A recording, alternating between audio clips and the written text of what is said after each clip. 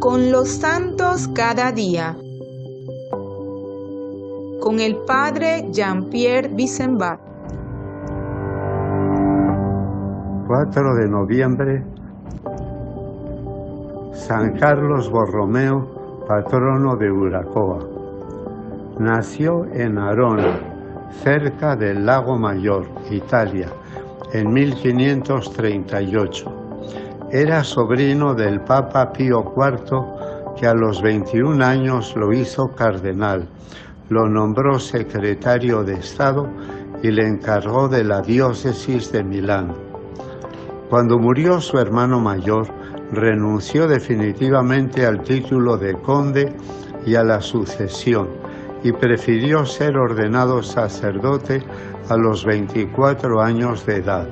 Dos años después, Muerto el Papa Pío IV, Carlos Borromeo dejó definitivamente Roma y fue recibido triunfalmente en su sede episcopal de Milán, en donde permaneció hasta la muerte en 1584, cuando tenía solo 46 años. Se privaba de todo y vivía en contacto con el pueblo para escuchar las necesidades y las confidencias. Fue llamado padre de los pobres. Empleó todos sus bienes en la construcción de hospitales, hospicios, casas de formación para el clero, comprometiéndose a llevar adelante las reformas sugeridas por el Concilio de Trento, del que fue uno de los principales actores. Animado por un sincero espíritu de reforma, impuso una rígida disciplina en el clero y en los religiosos, sin preocuparse por las hostilidades que se iban creando en los que no querían renunciar a ciertos privilegios.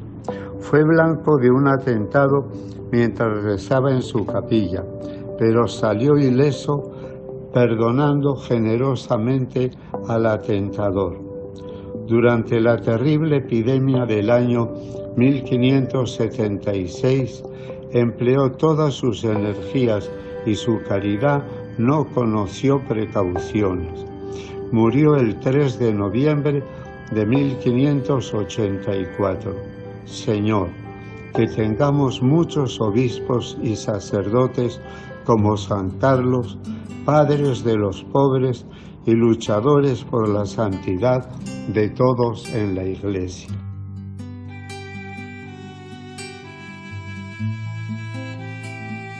Esto fue con los santos cada día. Texto y narración Jean-Pierre Bissembat, sacerdote de la Compañía de Jesús.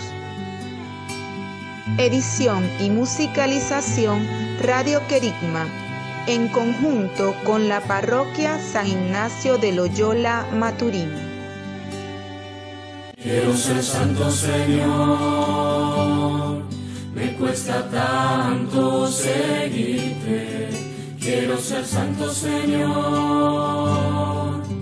porque vos me lo pediste.